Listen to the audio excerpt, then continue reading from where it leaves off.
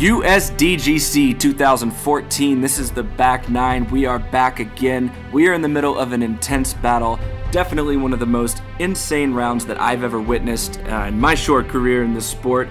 And I've got the most special of special guests. I've been waiting all year to bring this guy in the studio. I have the current reigning three time world champion, Paul McBeth, with me. How's it going, Paul? It's going well. Um, I'm ready to see some disc golf action and relive it. All right, we are going to make him relive it just shortly after he got through battling this course for four days, four rounds at the legendary Winthrop Gold. Before we get started, what does this course mean to the sport and what does it mean to you as a top level competitor? This course is different than most. Um, we're not throwing through trees, around trees, over trees, but throwing around ropes. You know, and those ropes are strokes. So the whole goal is keep it between the lines and keep it out of the water if you do that, you'll have a chance to be the U.S. champion. And we are going to follow the card that has managed so far very successfully to keep it in bounds, to make their putts, to survive until the last day. We have a really tight race going on. Right now, we've got Johnny McRae and Patrick Brown, two Masters levels players, are leading the field. Paul's a couple strokes back after a little rocky start on that front nine, and Will's right behind him. Let's get started on hole 10. Uh, this is starting off the back nine on a par four. This is one that you really like to go for. You know, what's the strategy breakdown here? Yeah, it's uh, it's about it's listed at 554 feet. Um, that's if you're playing the fairway, but there's a shot to go right for the basket, and as you can see, Patrick teeing off here. It's very reachable hole. Um, it probably plays about 440 feet to get to the pin, but today with that wind. Uh, it's definitely out there blowing and it can take these shots pretty far OB. And what are you throwing here? Because you have to play into this left to right wind that's going to prevent you from fading. That is a Star Destroyer. Uh, it's a brand new one. Uh, it's still got the stability. I've been throwing a little bit less flippy one, and I was having trouble, but with this win, I was able to bust out a new one. And tell me about that that factor, that pucker factor. You're two back. You see Patrick go out of bounds right there. You've got to step up and make it and give yourself a shot for an eagle, right? Yeah, I had to go for it. I knew I knew with these holes coming up, I had to make a move. Um, it's it's a tough back nine, probably the one, probably the hardest one in disc golf. And you've got Johnny McRae is going to lay up, which is uncharacteristic for a player like him. Patrick's going to take from the drop zone, and Will and Paul are going to have looks at eagle here. Yeah, so Johnny, I saw him lay up every round I played with him, so it wasn't surprising um, for him to do it in this situation, and for him to convert this upshot. It, it was, you know, textbook. And he does convert. The guys, the spotter's gonna run over, get that close to it, and he was so just barely in bounds. And you know, it's it's funny because that has to enter your mental game at some point. Yeah, um, and this putt right here, I honestly told myself, what do you want to be remembered for? Missing this putt or making it into this headwind? So I was able to capitalize on that one right there. Is that McBeast mode activating? Um, I definitely felt it after I made that one. I got some confidence and was ready to roll through the course. Speaking of rolls, Will gets a nasty roll. He's trying to get some steam. He hasn't really, you know, played to the level that he's definitely capable of so far, and uh, he's got to make this comebacker Ooh, also off, off, the, the bench. That's brutal. Now here's Johnny McRae. He has been just a powerhouse after that throw in on five, just playing with so much emotion, and he's going to catch an unfortunate roll as well. Yeah, he actually didn't take his full meter on that putt because he wanted to stay outside the circle so he could jump jump putt at it, and uh, unfortunately it didn't work out. Uh, it is a very important to note for anybody that's curious about that. For the rules, you are allowed to take up to one meter lie, and that was a very smart play, uh, you know, by Johnny McRae to understand the rules there. Play to your strengths. So we're going to hole 11, another par four, and uh, this one, this one's tough. Talk about the landing zone on this hole. Yeah, this is a very tough par four. Uh, probably one of the toughest ones there. They kind of put a peninsula of OB um, down to. You got two options. You can go high right, or you can go low left. I chose to go up it and attack the tree up on the right, and just barely stayed in this time. Yesterday and the two days before, I slipped OB. But here's Patrick throwing the lower um, hyzer route. And you could see the difference in these two shots, where Patrick throws that lower, more penetrating route uh, with his uh, G line PD right there, he's going to get that skip because that huge left to right crosswind doesn't affect it as much. Where with Paul's shot, as you can see, that it keeps it from skipping, and that's how much the wind affects the discs out here. Have you ever seen a day this windy at this course? I personally have not. Um, I've heard stories that it can get bad out here, but this is the most wind I've played on this course, and um, it didn't really want anyone to score well today. Which is amazing that Johnny McRae took that huge line over the top and stayed in bounds, and Will's not going to get so lucky. He's also going to have to take a stroke penalty. So this this is a very tough lie for Patrick. He's got to get down into uh, the gully there and put enough power on this. Going to leave it kind of short.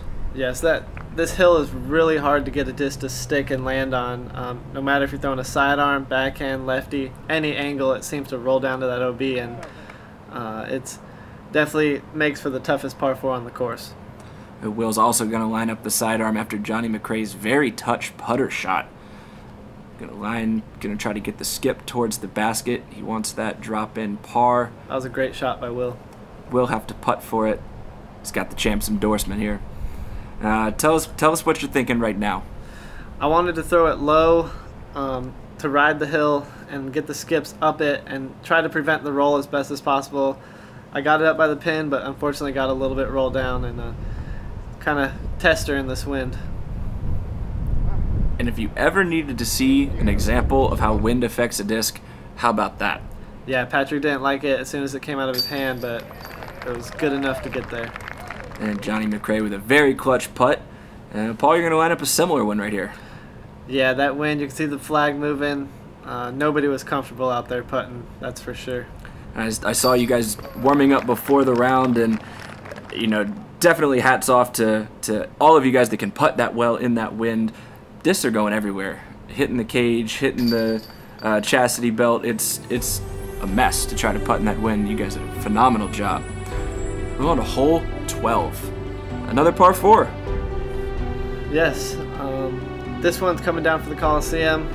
Uh, this is the hole, pretty much the only hole that you can throw a driver as hard as you want. And uh, some people like to unleash on it, others like to play it safe. And today I just wanted to let it go, and it worked out pretty well.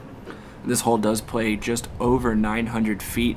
To get down uh, to where everybody is going to land, you're going to leave yourself, you know, 300 to 350 feet, which uh, seems like a whole lot that you have to take into account that you're playing in the wind and down. So you have to get that disc uh, down to, to have the accuracy to put it right in the fairway where you need it to be. I do want to point out that that disc that Johnny threw was his first ever signature disc, and it was it was a pleasure to see how happy he was to finally get his name put on a disc.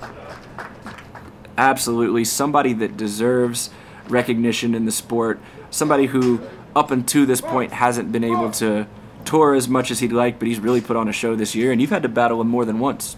Oh, a lot this year, and unfortunately, Patrick's drive right there just fell out of was out of bounds by about an inch. Yeah, he was, uh, I mean, maybe one tenth of a disc width at most out of bounds, and this is a tough little uh, drop zone because you have to play with the hill blocking your view of the pin, play up into that wind. That's textbook right there. Yeah, that's a great shot by Patrick. Uh, here's Will, who's been started out a little rocky, coming on quietly in the last few holes, playing solid. Yeah, he's been putting some pars together, and uh, that was a really good shot for him. Unfortunately, it rolled a little bit long, but he's a he's on fire today. And there's this is keeping it on a hyzer. Talk about the importance of making sure that your disc stays on the hyzer in this kind of wind. Um, that was a Firebird, so I knew it was gonna hyzer, but playing the angles is is huge out here. Uh, they got the these hills left and right. Uh, your disc can roll at any point, and I was fortunate enough to get my drive to land in those rocks and prevent that from rolling. Will is gonna line up a birdie putt, a headwind just outside the circle. Just misses, and he's lucky he didn't get too much more of a bad roll away there. He will have a makeable comebacker. Solid putt. And that is going to be Patrick for his par. Good par save after going out of bounds on the drive, the only one on the card to do so. And there'll be a couple of tap ins. Look at that. That's a world champ level shot. Was that was that your goal? Were you trying to throw it in right there? Um, I know if it hits those rocks, it's not going anywhere, and I was fortunate enough to get it to stick right there. And we're gonna go on to hole 13, 888, the legendary hole on the back nine, maybe the most well-known hole other than the island on this whole course. This is just a monster. How do you even think about tackling this? Um, I stuck with my game plan all week on this, and that was to go for it off the drive. Uh, whether or not I was in position or not to go for the eagle, um, the whole goal was go for it off the drive. And this, I unfortunately got it to flatten out, but it still almost rolled on. So I had to tee again with the OB rule on the right side of the fairway. And just to note, USDGC is a tournament where the rules often change from year to year, and this year they're playing the stroke and distance rule where if you don't establish a lie in bounds, you do have to re-tee immediately from your previous lie. Correct. And then on the left side of this road right here is a hazard. So if you land in the hazard, you get a stroke penalty, but you play it from where it lies. Which is exactly what happens to Johnny McRae as he tries to get the anhyzer to pan out flat, but just can't get that right side of the disc back to level, and he digs into the grass on the left side. I believe this is a putter that Will was throwing. He threw it really hard and a really great line, and you know that that's a shot that most people wish they could have on this hole. Billy Crump likes it, clapping for him in the background one of the uh, most famous disc golf videos, the Clash DVD series. We watch Patrick Brown. He's going to take the same route that, that you went for, Paul. Yeah, he converted on the first shot, which I wish I could have done. and there's Johnny. He takes, like you were talking about, from the hazard with a stroke penalty, so he was throwing three there. And yes, Johnny and Will both lay up right here. Real nice spot to go for the basket. And this is just where you have to be smart. This you can take big numbers on this hole, as many many competitors did this weekend, and then uh, Paul's going to go for it right here. Yeah, I knew if I wanted a chance for this, uh, you know, to keep up with the lead after going OB twice, I had to put on the green and give myself a look at uh, saving a six. And this shot right here from Patrick, this is not a typical play on this hole. You can continue to go back there to be basically pin high and uh, pitch over at the large island. Yeah, Patrick was very fortunate to catch a tree and kick back closer to the fairway. He was still in the hazard, but he he was able to get a shot out um, from where he was. And these should be, you know, relatively routine hyzers. Uh, you say relatively out here because nothing is routine. And how about that skip? Yeah, that's actually the shot you want to play. You want to skip it off that concrete and let it uh, jump right towards the basket and Patrick needs to play another very difficult shot. He gets the skip, and the wind just pushes him. You can see the wind get under the, the bottom of that disc on the right to left and just push him way past the green. That's such a tricky shot to manage. Yeah, these greens are fast after the three days prior to this. Just the way that they've gotten beat in, it's hard to keep a disc to stick. And this will be the man himself giving it a run, a little bit short easy tap in from there. Uh, here's Will. He needs. He really wants to get a stroke right here on everybody else. Yeah, I believe this is for a four. He's played this hole clean so far. That was a great putt. Into the headwind, dead center chains. Can't do it much better than that. This will be Patrick for his seven. Good putt right there. Yep. Saves the double. Keeps him still in the match. And that's something that I don't know if I've ever seen the lead shift as many times as it did during this round. I mean, you guys were just giving it your all, going back and forth. It was a real all-out battle, and, and you can't really say that about most disc golf rounds, but this was truly a battle. Yeah, this is one one of the few courses you can see multiple sevens on a card and still have people battling. So it's it's something you always got to watch to the end, and that's what I think brings so much excitement to this tournament. And it's experienced players like yourself that know that even if you take a seven on that hole, you're not out of it yet. No, not at all. Um, ev- every hole on this course can give you trouble, so it's it's very entertaining, but mentally it's a struggle. And here's a hole that, coming right off 888, tough par five. This is a must-get birdie. Yeah, the the way it plays this year, it has a hazard on the left and OB long, um, but it's got a really small island green um, Will and Johnny put it real close right there. Um, I decided to go a little wider hyzer. Um, it's been it's what I've been doing all week. Uh, this one kind of got caught up in the wind, taken really high, and I was really fortunate for it to stick right where it hit. Um, it gave me a chance for a birdie. You could see you were uh, not liking the result at first till you saw that green flag, and Patrick was trying to throw a little bit more of an intermediate hyzer, and he Yeah. walks up and just throws the shot. He did. He stepped right up to that shot. Didn't really think about it. Just knew he had to put it close, and it just happened to happened to fall right into the basket. That and I, we almost missed it with the camera. We, he had to make sure afterwards that I got it, and I told him I barely even did. Yeah, this is a slightly uphill hole putt right here. Just left it low. There wasn't much wind. Um, just a mental lapse right there.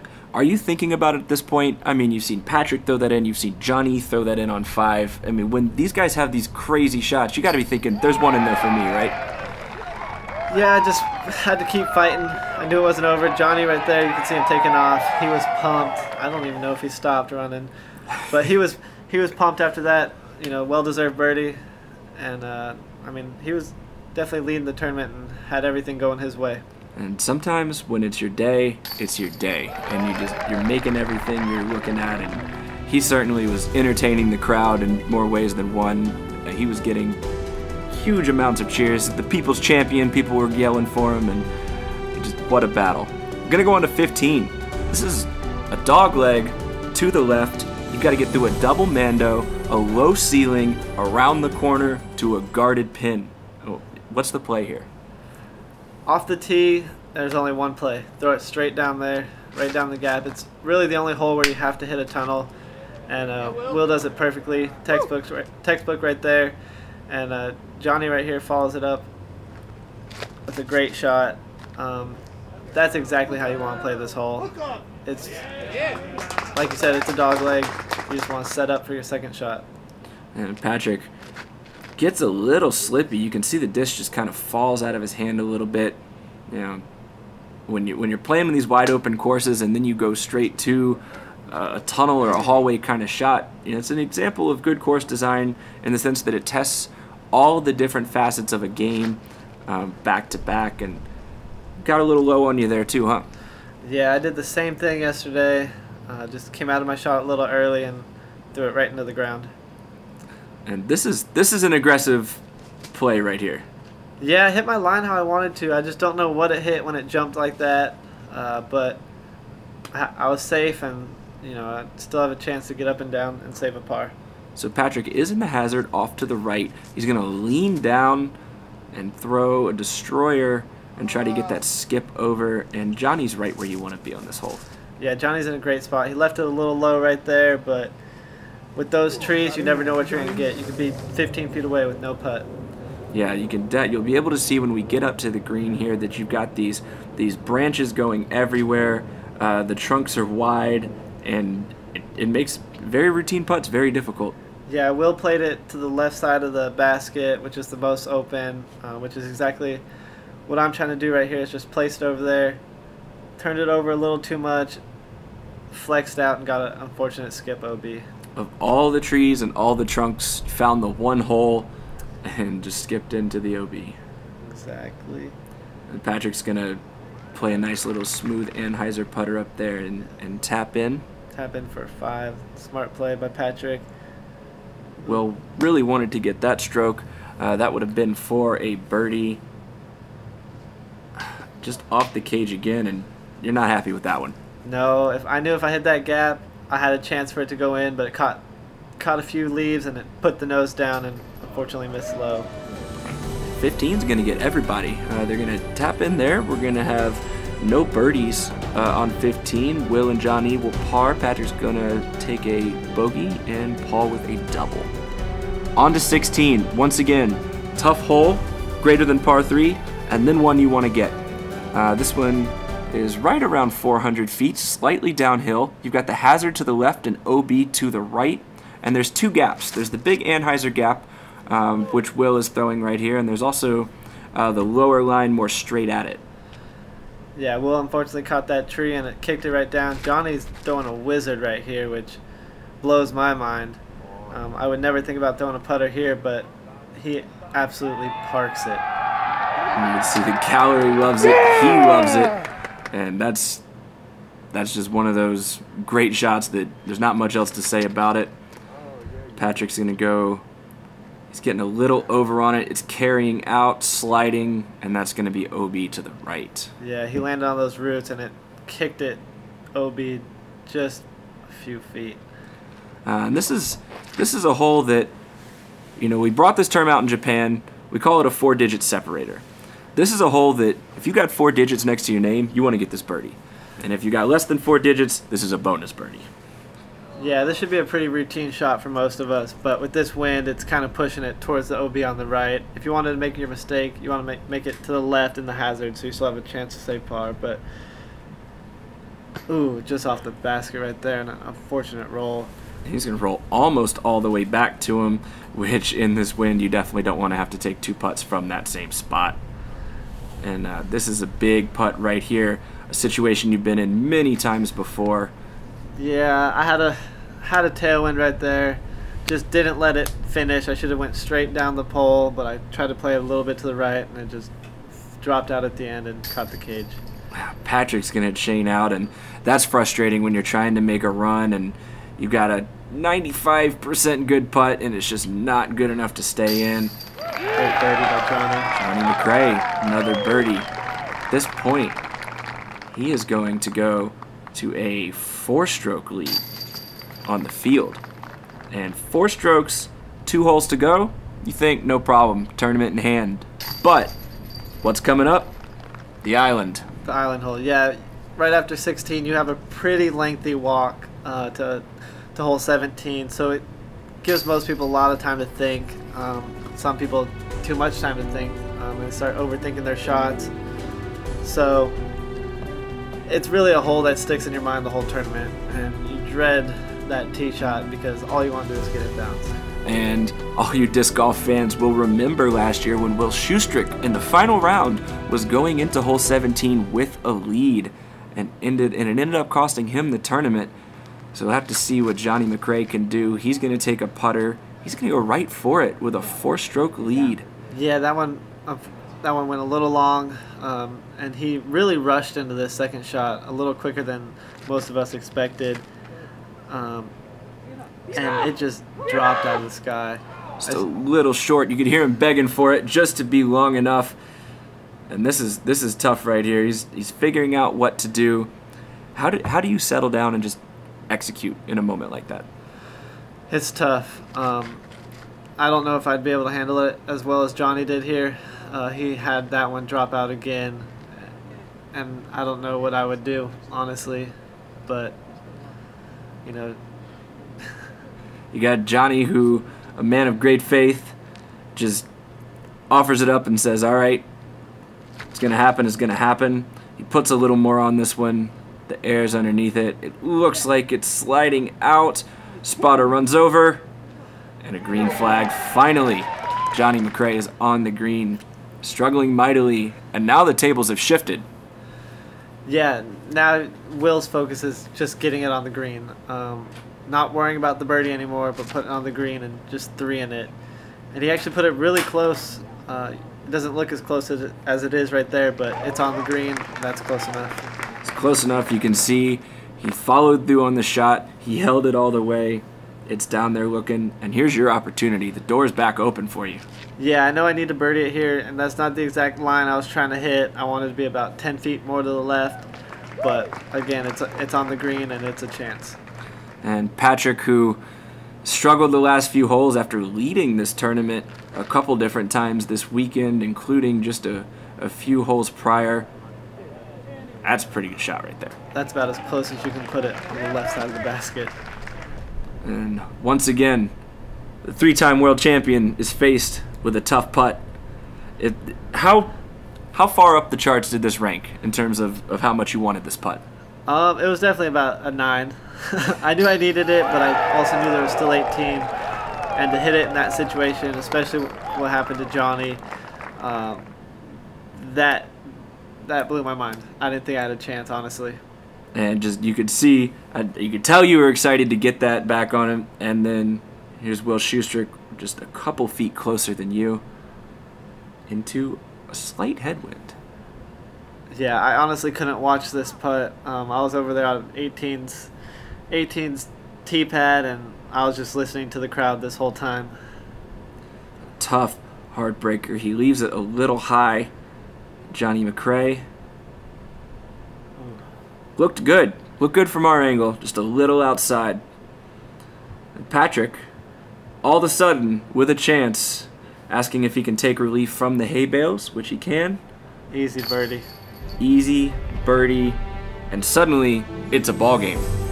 We've got two tied at 20, two tied at 18. We're going into par 4, hole 18, one of the toughest fairways that I've ever seen on a disc golf hole. Slopes down right to left. You have to tee off over the water. You have to stay between the trees on the left side of the fairway and get left of the Mando tree, which is way up there.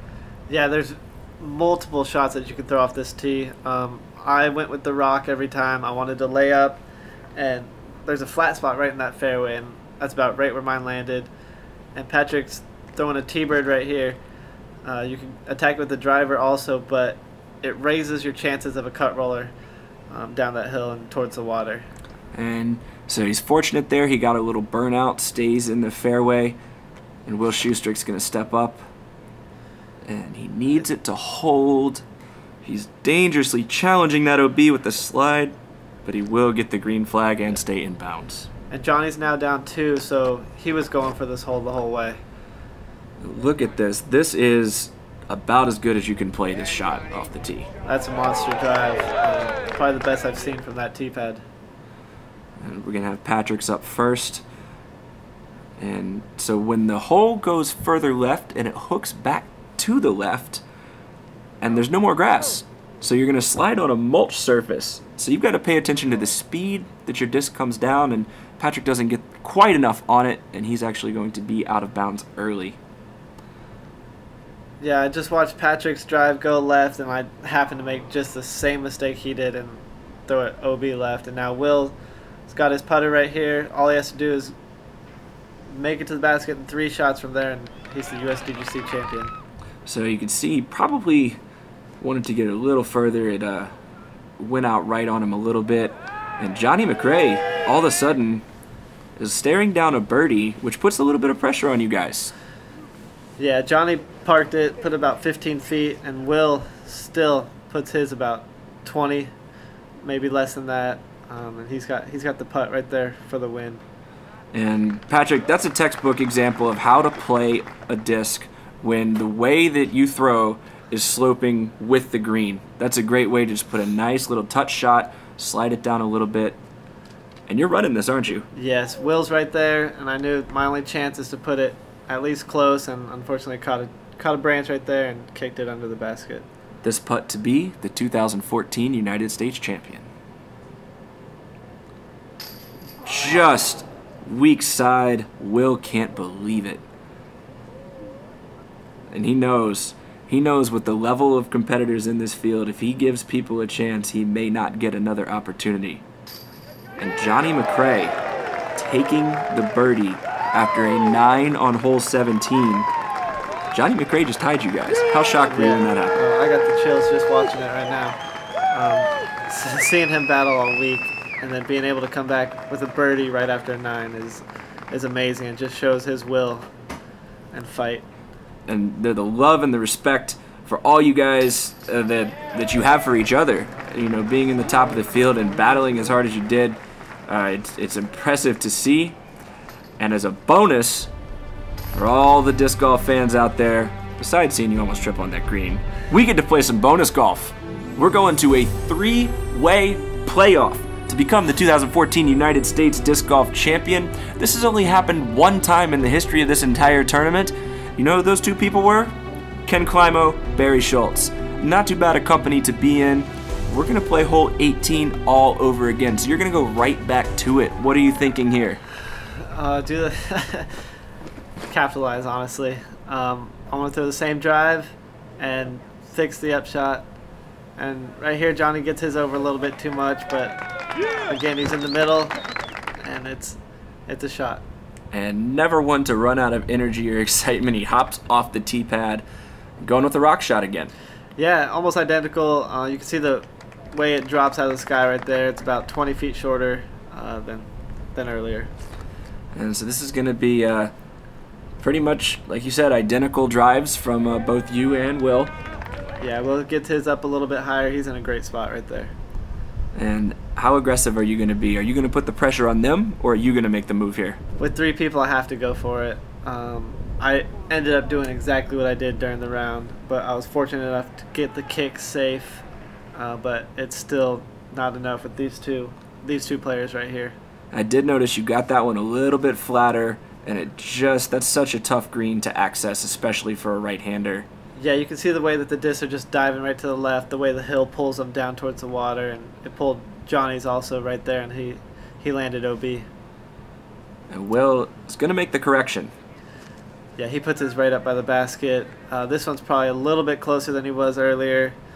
Uh, so you can see he, crowd is looking. They're trying to see if there's a green flag, and like you said, he will be in bounds with another putt. Yeah, I'm almost in the same identical spot, a little further back, and I had to do the same play. And Will's Will's a little bit closer this time, so you know it's in his hands now. And here's Johnny McRae trying to force one. He wants to throw it through the trees. Couldn't quite get it. Yeah, he. Gentleman's he, concession right there. Yes, he had to go for it. Unfortunately, didn't make it in bounds. And he leaves it up to you guys to battle it out for the title. He bows out and gracefully takes third place.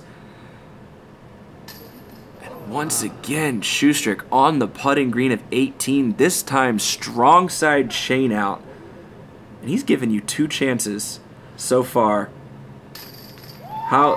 What? What? I can't even imagine what you're going through in your mind right now. What are you thinking? I was not thinking the right thoughts. Um, I, I don't know how I even got in that place. Honestly, after Johnny taking the nine and then Will missing those two putts, um, I had to try to take advantage of it and just keep playing, keep fighting, and uh, put myself in the position to be able to win. And you guys are gonna go to hole one now. Gonna play hole one. Basic birdie. Will bogeyed this hole this morning. Yeah, Will caught the first tree this morning, and I birdied it all four rounds up to this point, so I was really confident going into this hole. This one I left a little bit lower right and got that skip at the end, but it's still in the circle. And he's got a look, and you cannot give McBeast a look because he capitalizes on it, as the three world titles would say. But this guy's also pretty good right here. He's got two United States titles already. A Couple beautiful putter shots and just textbook leave it all down to the putt. Yeah, this is about 20 feet um, on the small small side hill right here. Should be made every time, but just had it chain out to the right. And this, if that's 20 feet, this should be routine. But Schusterick's giving it away twice so far. He's got to make this one to become the United States champion. Yeah. How he, much pressure is on him right now? After those two putts on 18, this is a must make. And he nailed it. And he does. He's the three time United States champion. You are the three time world champion. This was one heck of a battle. And like I said, is the greatest disc golf tournament I've ever witnessed, and I mean, and I'm not blowing smoke by saying that at all. Uh, just guys battling it out to the best of their ability. Uh, how does this rank up in, in, tournaments you'll remember as going ending the season? Um, right there next to Worlds. Uh, this is probably one of the most exciting disc golf years I've ever seen and been a part of. With the way that Worlds went down and the way that USDGC went down, I don't think it'll ever be forgot. Uh, the way that it ended in three-way playoff, uh, it's just, it's exciting. You know, now what's going to happen next year?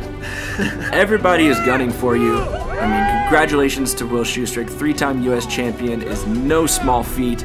Um, but you are still the number one disc golfer in the world. You know, how will you go into the offseason? What do you take away from this? Uh, it was another good year. Uh, last year, people said it could have been one of the best years ever, uh, but my goal is always to improve, and I felt like I went out there and did that this year. Um, I didn't have as many major wins, but I placed a lot better in those majors. Uh, this is my best finish ever at the USDGC, and uh, I'm excited to see what else there is. I'm gonna work harder and push the sport and the players as hard as hard as I can, and, and make them all work for it. I don't want I don't want there to be any easy victories, and as you can see from this year, there weren't any. Definitely one of the most exciting uh, disc golf seasons in recent memory. So, leaving you with a question about USDGC. You now have the number one and number two record rounds at Winthrop Gold, and you have not yet taken down that title. What what is it going to take next year? What is it going to take to get that monkey off your back and become the United States champion? Consistency. Um, the last two years, I've had the hottest round of the tournament, but then I've had three of the most mediocre rounds of the tournament. So, consistency is what I need to get out here at the USDGC if I want to win. You heard it right here, folks, from the number one disc golfer in the world. Play your best, play consistent. Paul, we appreciate you stopping by. We appreciate you being so candid. We hope to have you back real soon. Good luck in the offseason, man. Thank you. And congrats to Will again. That you heard it here. Spin TV, USDGC. I'm Jamie Thomas. That's Paul McBeth. We've had a phenomenal year. Keep it locked over the offseason. We've got some great videos upcoming for you, and we look forward to seeing you guys in Phoenix next year. 2015. Let's get it.